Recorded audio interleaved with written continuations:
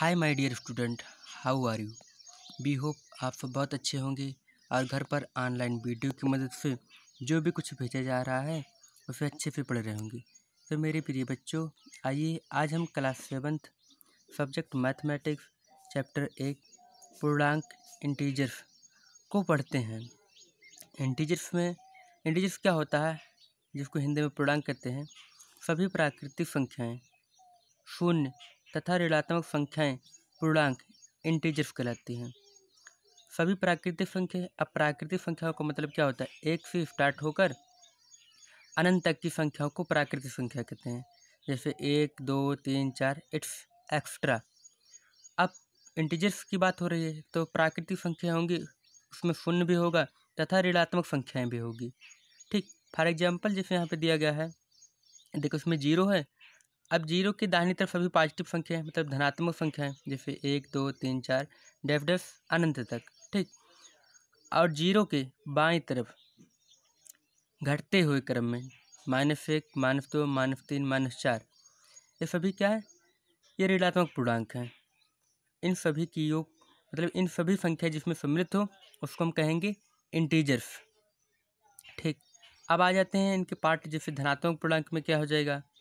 एक, दो, तीन, चार, पाँच मतलब कि ज़ीरो के दाहिनी तरफ़ के सभी पूर्णांक धनात्मक पूर्णांक कहलाते हैं, ठीक? अब ऋणात्मक पूर्णांक में क्या होगा? ज़ीरो के बाएँ तरफ़ के सभी पूर्णांक ऋणात्मक पूर्णांक कहलाते हैं। अब देखिए, शून्य मतलब कि ज़ीरो, एक पूर्णांक जो कि ना तो धनात्मक है और ना ही ऋणात्मक। अब एक चीज़ और देख लेते हैं कि ऋणात्मक पूर्णांक में बड़ा और छोटा क्या होता है? जैसे देखिए, ऋणात्मक पूर्णांक में क्या होगा? कोई दो संख्या है जिसमें माइनस लगा हो, वही ऋणात्मक पूर्णांक है, ठीक? तो इसमें बड़ा कौन है? आप लोग कहेंगे कि माइनस आठ बड़ा है, लेकिन इसमें संख्या से नहीं बड़ा होता है। जो संख्या बड़ी होती है, जैसे धनात्मक पूर्णांक में जो संख्या बड़ी होती है, अगर उसके पहले माइनस का चिन्ह लग जाए तो वह उतनी ही छोटी हो जाएगी। जैसे माइनस आठ और माइनस सात में माइनस आठ छोटा है, माइनस सात बड़ा है, जबकि सात और आठ में आठ बड़ा होगा, सात छोटा होगा। ये धनात्मक पूर्णांक के लिए कंडीशन है बट ऋणात्मक पूर्णांक के लिए क्या कंडीशन है? जिसमें माइनस होगा, वह छोटा होगा, ठीक? अब देखिए, आठ के आगे माइनस लगा है, सात के आगे भी माइनस लगा है। आठ तो वैसे बड़ा है, लेकिन जब माइनस लग गया तो ये आठ छोटा हो गया और फिर माइनस सात बड़ा हो गया। अब आते हैं हम अपने एक्सरसाइज वन पॉइंट वन का। क्वेश्चन नंबर एक क्वेश्चन नंबर दो, देख लेते हैं। देखिए क्वेश्चन नंबर एक में कह रहा है माइनस छः तथा तीन के बीच के सभी पूर्णांक लिखिए। तो आंसर में क्या हो जाएगा? माइनस छः तथा तीन के बीच के पूर्णांक क्रमशः क्या क्या हो जाएँगे? देखो, हमें क्या करना है? माइनस छः और तीन के बीच के पूर्णांक लिखना है। अब हम क्या जान रहे हैं? इसके बीच में क्या क्या आएगा? ज़ीरो आएगा, एक, दो, इधर धन में चला जाएगा। इधर क्या हो जाएगा? माइनस एक, माइनस दो, माइनस तीन, माइनस चार, माइनस पाँच। तभी तो छः के बीच में आएगा तो यहाँ पे वही होगा। देखो, माइनस छः के बाद क्या? माइनस पाँच, माइनस चार, माइनस तीन, माइनस दो, माइनस एक, ज़ीरो, एक, दो।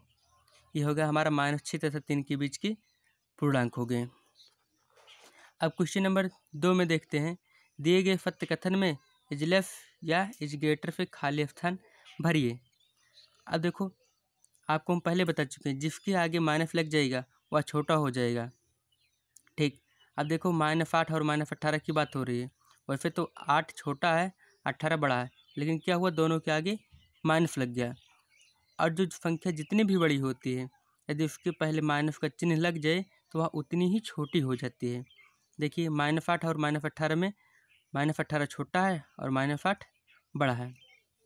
अब इसमें आते हैं माइनस चार और शून्य में। क्या होगा? शून्य देखो, ना तो धनात्मक है, ना ही ऋणात्मक। ये सेंटर वाला है। यहाँ पे देखते हैं, देखो। ये, इधर जितनी भी संख्या जाएँगी बाएँ तरफ़, सब छोटी होती चली जाएँगी और दाहिनी तरफ़ जो जाएँगी, सब बड़ी होती जाएँगी। तो यहाँ पे क्या है, ये माइनस चार है, ये ज़ीरो है। तो यहाँ पे माइनस चार छोटा है, ज़ीरो बड़ा है। इसमें देखते हैं, माइनस तीन सौ सत्तावन और माइनस पाँच सौ सैंतीस। अब इसमें देखिए, माइनस तीन सौ सत्तावन अगर धन में देखा जाए, धनात्मक पूर्णांक में तो ये छोटा होगा ये बड़ा होगा, लेकिन दोनों के आगे माइनस लगा है तो जो बड़ा होगा, वो छोटा हो जाएगा, और जो छोटा होगा, वो बड़ा हो जाएगा। इसलिए इसमें माइनस तीन सौ सत्तावन बड़ा है, माइनस पाँच सौ सैंतीस से।